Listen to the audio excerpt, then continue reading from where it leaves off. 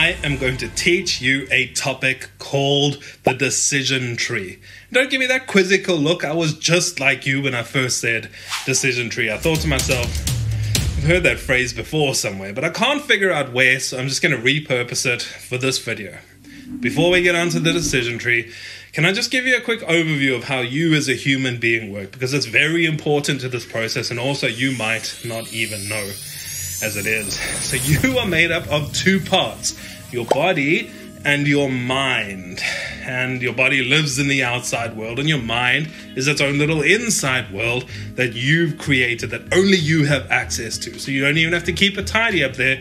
The rest of us will never see it. Your body has a bunch of senses. You know the normal ones like sight and sound and touch and smell and all those bad boys, those get transferred into your inside world. Funny story, right? Now that Elon Musk's Neuralink is a thing, technically, there is no technological reason why we can't have more than those normal sensors. So, for instance, you could have a security camera somewhere hooked into your Neuralink, and then you'd be able to see, like you normally do through your eyes, through that security camera. There might be some sort of ethical debate about it, but technology wise, that's possible, which is scary, I think, but exciting. So it doesn't matter what inputs you have, you have a bunch of sensors, and these inputs get encoded into a way that your mind can understand. Now, obviously, your mind isn't the outside world. So the outside world that you think you love and know isn't really the outside world, it's just a representation of the outside world that you've created. If I were to ask you, how do you normally make decisions? You'd go, well, I think, and then I make a decision. But that's false. That's not true because you're an idiot. You don't think. And also, all humans don't think. That's not how we work. We feel and then we make a decision.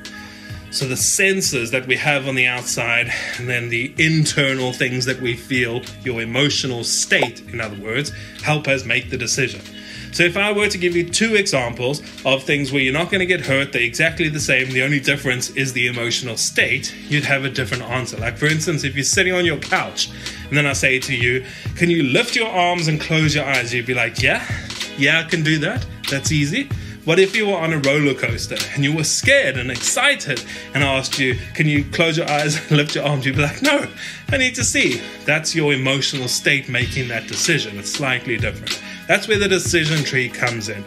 The decision tree is only in your mind. It's literally something you create inside this inside world. There's no outside world representation of it. And also, the decision tree kind of like an advisor. It's not a cheat code to life. You can't all of a sudden use the decision tree to lessen the load and not have any effort in the outside world. You still have to really make the decision.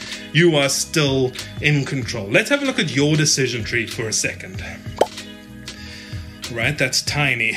That's uh, can be, you know you can water it and stuff and grow it over time. Let's take a normal, healthy one like mine, for instance. This is like an advisor, like I said. So, normally, when you feel and make a decision, that's your normal process. But if you passed on a decision making thing to the decision tree, it would give you the right or correct or best answer possible. Doesn't have to think, doesn't have to feel, it's like a black box. Whatever it decides, that's the correct answer. And obviously, you're in control. You can still say, no decision tree, I'm not going to do that. I'm going to do something else, which you can say to a normal advisor. But here's the fun part, right? The more you grow your decision tree, the better it is.